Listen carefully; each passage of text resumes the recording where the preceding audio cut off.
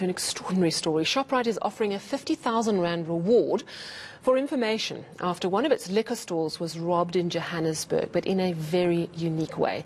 The thieves made off with alcohol worth 300,000 Rand.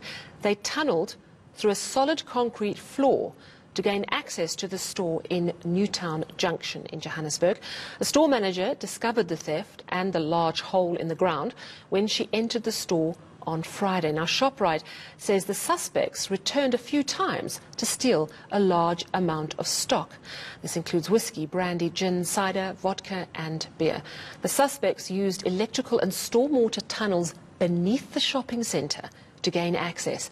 The retailer says the footage shows three culprits who were first recorded on CCTV cameras two weeks ago were involved in this audacious theft of a bottle store in Johannesburg.